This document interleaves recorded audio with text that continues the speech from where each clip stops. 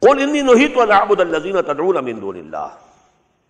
Say to them, O Muhammad sallallahu alayhi wa sallam, I have been prohibited and forbidden.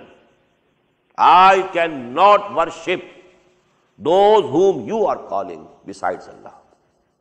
There can be no compromise between you and me. They wanted a compromise. But Allah subhanahu wa ta'ala says no compromise. Vaddu la tudhinu fayudhinun. They want that you compromise somewhat and they will also be ready to compromise. Some give and take because they had reached the conclusion that Muhammad sallallahu alayhi wasallam, we have not been able to stop his, his dawah spreading. Because this surah that was revealed, as I told you, in the last year, just one year or, or, or so before Hijrah. So during this time, they had tried all their means. They had persecuted, they had done some everything that they could do, and they found that now it's impossible. You know, this, the advance and spreading of this message cannot be stopped. So they wanted some compromise. Okay. You somewhat, you should be lenient. You should accommodate our point of view also, to some degree. Then we can have, you know, a compromise. I have been forbidden. I can't do it. I can't worship. I can't love. I can't prostrate before these deities to whom, you know, you are praying. قل لا اتبعوا أهواءكم. Tell them, I cannot follow your wishful thinkings, your lusts, your desires. I cannot. قد ضللت إذن. If I do so, I will also go astray. If I take to your path, then I will also be doomed.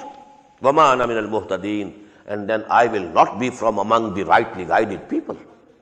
I can't have any compromise with you. قُلْ إِنِّي عَلَى بَيِّنَةٍ مِّن رَبِّي See the self, you know, confidence which Allah subhanahu wa ta'ala wants, you know, a da'i he should have in his dawah. Whatever is his position, he should have full confidence.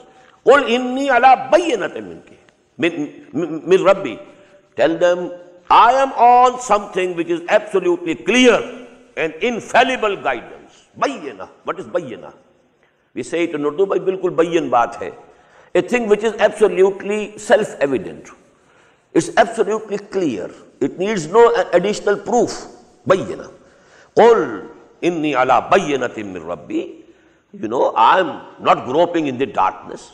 I am actually my position is based on absolute bayyanat.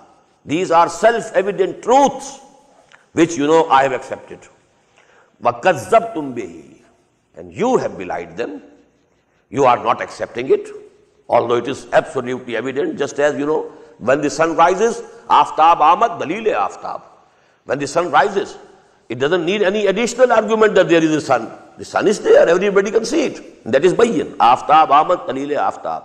Now these teachings which Allah subhanahu wa ta'ala has sent down on me, for you, they are just bayyan. But you are denying them. You are rejecting them. وَكَذَّبْتُمْ بِهِ مَا عِنْدِي مَا تَسْتَعْجَلُونَ بِهِ I don't possess what you are hastening for. They used to say, for the sake of argument, okay, O Muhammad, we have rejected you. You have preached to us for 12 long years. We have rejected you. Now bring the punishment from Allah subhanahu wa ta'ala. That was another way. To impress their people. That these people, you know, they are very sincere actually. Had they any belief in Muhammad, had their hearts and, and minds believed in Muhammad to any degree, they couldn't say this thing.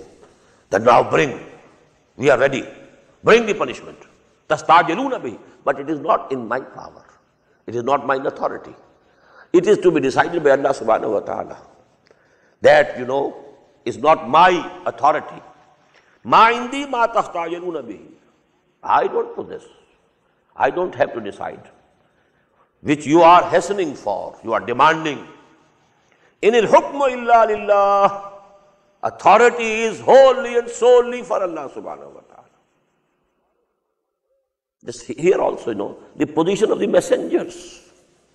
It must be clear. They don't claim we have the authority. I can bring, you know, devastation and punishment and azab whenever I like. No. I am a humble servant of Allah. He has sent down the revelation. He has appointed me to convey the revelation to you, and that I am doing. It's nothing my business. It doesn't concern me. When he decides to punish you, Actually, it is up to him. In al-hukmu illa lillah, yaqussul haqqa wa huwa khairul fasilin. He is relating what is the truth. These ayat, they consist of the truth. Now, he is conveying these things to you. Wa huwa khairul fasilin. And he is the best of the deciders. He will decide when you know, no more concession to you and the punishment should come to you just as the punishment came to the people of Nuh or the people of Hud or the people of Saleh alayhi salatu wassalam. قُلْ لَوْ أَنَّ very natural. قُلْ لَوْ أَنَّ عِنْدِي مَا تَسْتَعْجِلُونَ بِهِ Say to them, had I the power over what you are demanding, you are saying, bring this punishment. Why that punishment is not coming? It means you are a liar. It means you are not messenger of Allah. Had you been messenger of Allah, as you say, that the people of Hud, they were exterminated. The people of uh, Saleh, exterminated. But we have been rejecting you for 12 long years. No punishment has come to us up till now. It means you are not a messenger of Allah. Had it been in my power, had it been with me, the authority, then you know the matter would have been finished between you and me. I am also a human being. I am also fed up with your attitude.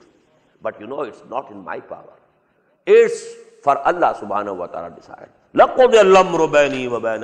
It would have been decided long ago. But it actually it is not in my power. And Allah very well knows all the evil doers and He will deal with them. وَعِنْدَهُ مَفَاتِحُ الْغَيْبِ Now this is all Tawheed.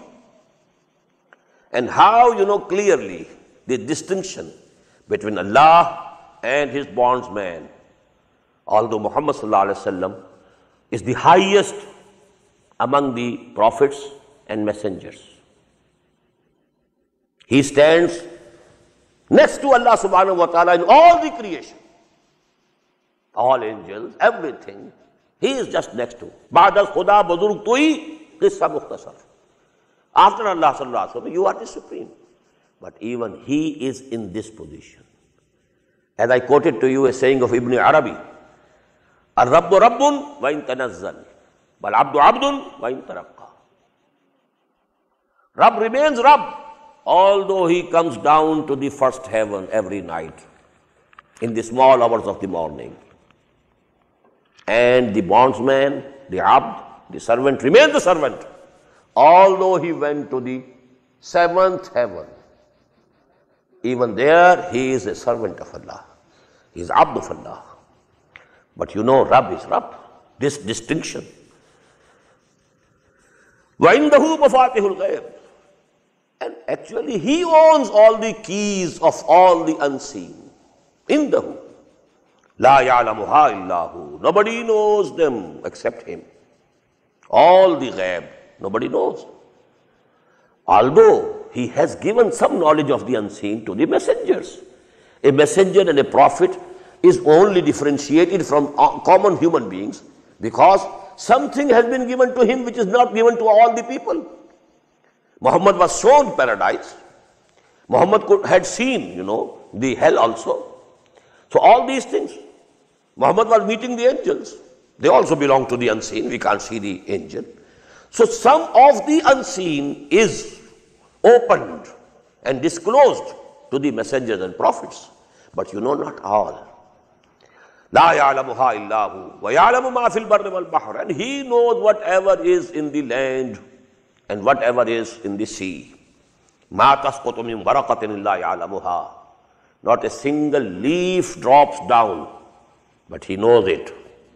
He is all aware. ما تسقط من ورقة إلا يعلمها ولا حبة في ظلمات الأرض ولا and in the same way no grain in the darkness of the earth a grain you know you have sowed a seed now this is in the darkness of the earth But Allah knows which grain is lying where and when to sprout, when to become a plant. He knows it. Wala ratbi wala yabisin. And no wet or no dry. Illa fi kitabim mubin. But everything is in a clear record. Allah subhanahu wa ta'ala. This kitabim mubin is actually the attribute of knowledge of Allah subhanahu wa ta'ala. Everything is in the knowledge. Nothing is out of His knowledge. And this is the book. This is the book of record. And actually everything is recorded in it.